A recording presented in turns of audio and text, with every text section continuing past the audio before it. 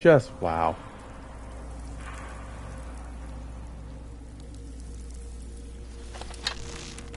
Come back up so I can hit you with this arrow.